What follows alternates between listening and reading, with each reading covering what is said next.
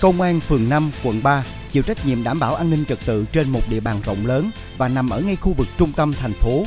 Tập thể luôn thấm nhuần lời dạy của Bác Hồ với lực lượng công an nhân dân.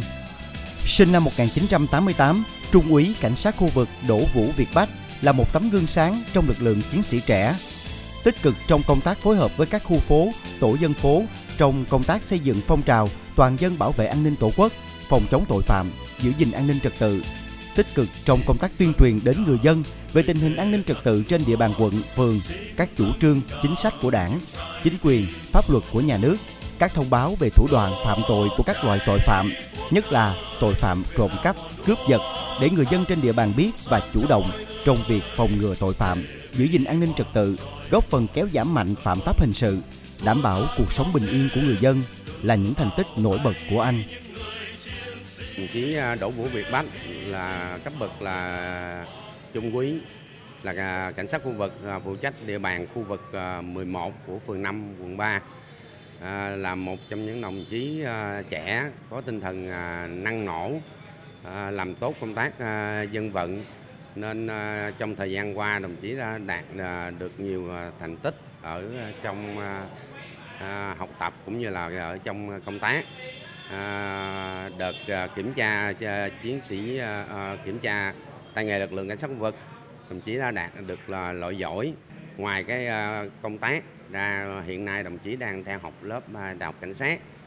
Vừa học vừa làm nhưng mà do năng nổ tranh thủ thời gian ngoài giờ nên đã hoàn thành tốt được mọi nhiệm vụ do cấp trên giao. Công tác uh, chính của tôi cũng là công tác phong trào uh, toàn dân bảo vệ an ninh tổ quốc thì à, để nhân rộng cái, cái mô hình à, toàn dân bảo vệ an ninh tổ quốc đó thì tôi thường xuyên học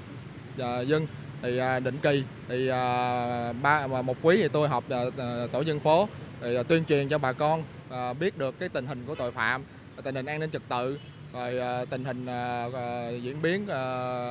à, của các loại đối tượng. Qua đó thì à, nhân rộng phát động phong trào toàn dân cùng à, chung tay bảo vệ an ninh tổ quốc còn tại phường 1, cán bộ hưu trí Lê Đình Huỳnh cũng được biết đến với nhiều hoạt động tích cực trong công tác tuyên truyền, tham gia các mặt công tác tại địa phương trong phối hợp với các đoàn thể, ký kết liên tịch giữa Hội cựu chiến binh và Công an phường trong phong trào toàn dân bảo vệ an ninh Tổ quốc. Tháng 8 năm 1969, ông Huỳnh đi bộ đội. Đến tháng 1 năm 1970, ông vào Nam công tác tại Sư đoàn 7, Quân đoàn 4 Ngày 30 tháng 4 năm 1975, ông tham gia tiếp quản thành phố, đóng quân tại Dinh Gia Long. Đến năm 76, chuyển vào lực lượng công an và được điều động về công an quận 3, phụ trách công an khu vực tại văn phòng Trung ương Đảng, giờ là T78. Năm 1982, ông được điều động về công tác tại công an phường 1 quận 3. Đến năm 93, nghỉ hưu, sau đó tham gia vào cấp ủy khu phố phường 1 quận 3. Từ năm 2012 đến nay, ông làm chủ tịch hội cựu chiến binh phường 1, kiêm Phó Chủ tịch Hội Gia Cam Dioxin quận 3. Ông cũng là một cán bộ hưu trí gương mẫu, được người dân tin yêu. À, dạ biết à, anh Quỳnh lâu rồi. À, ảnh thì ảnh làm à, ảnh coi cái khu vực ở dưới mà ảnh là ở ở cái khu à, phố đó ai cũng mến ảnh ra á à, ảnh rất là tốt à, à. hàng ngày thì ông hỗ trợ có công việc gì cho cái đời sống hàng ngày của những hộ dân như bà?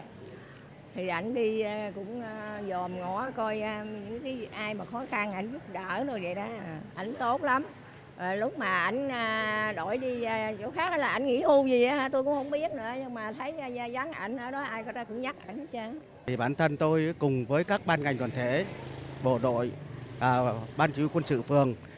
là tuyên truyền cho các cái trường học đóng trong địa địa bàn phường cụ thể là trường học Phan Trào Nam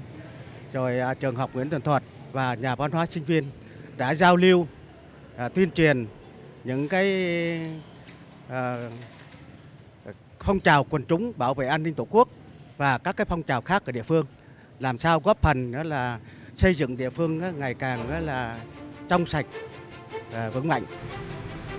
quần chúng đóng vai trò nòng cốt đối với công tác đảm bảo an ninh trật tự tại các địa phương Tư tưởng này được thể hiện rõ nét hơn với nhiều gương sáng tại phường 4. Trên vai trò là tổ trưởng dân phố, bà Dương Ái Kình cũng là một cá nhân tích cực trong công tác xây dựng phong trào toàn dân bảo vệ an ninh tổ quốc, phòng chống tội phạm, giữ gìn an ninh trật tự trên địa bàn phường.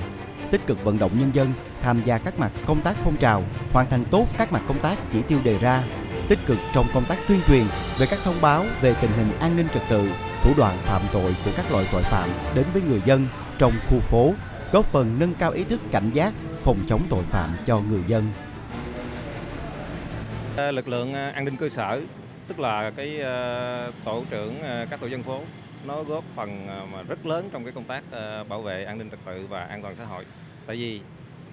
cảnh sát khu vực thì nói chung là làm công việc nó rất đa dạng nhưng khu phố mới là tổ trưởng dân phố mới là cái lực lượng quần chúng an ninh cơ sở mà sát quần chúng nhất là có những cái uh, chuyên đề những cái thông báo những cái gì đều triển khai tất cả các uh, qua tổ dân phố thì từ đó tổ dân phố mới góp phần chung cho cái công tác bảo vệ an ninh trật tự của khu phố này cũng như là toàn địa bàn phường. À, hàng ngày ấy thì sáng ấy, tôi phụ nhỏ em dâu buôn bán cơm cái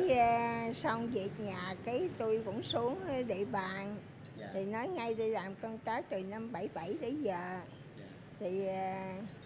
thì uh, thí dụ giờ làm việc thì có cảnh sát khu vực rồi. Thì sau giờ làm việc thì tôi cũng hay xuống địa bàn. Trong khi xuống địa bàn á, thì cũng có số dân phản ảnh nói gia đình nào á, buôn bán heroin đó thì tôi cũng báo với cảnh sát khu vực khu phố tôi để theo dõi Música